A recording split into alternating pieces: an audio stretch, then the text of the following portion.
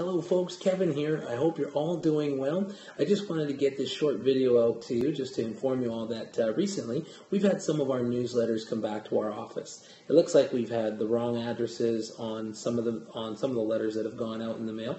Uh, it was a mail merging problem, and uh, I believe we've got that sorted out now. So, uh, in the next few days, you should be uh, receiving our last two articles that were uh, were sent out, and this would be one of them. Uh, the top 10 tips for buyers and sellers.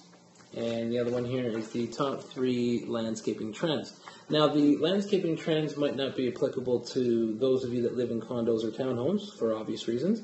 And uh, the buying and selling tips might not be applicable to some of you that have just uh, bought and sold. So, uh, but please feel free to pass that along to someone that you might, uh, that, that's to someone that might find that information useful. So, uh, again, folks, I just wanted to make sure that uh, that you're uh, that you're aware that uh, this information will be uh, coming out to you in the mail in the next few days. Uh, if you have any questions, please give us a call. I'd love to hear from you anytime. I'm never too busy for your referrals. thank you very much. Take care, and we'll talk to you soon. Bye bye.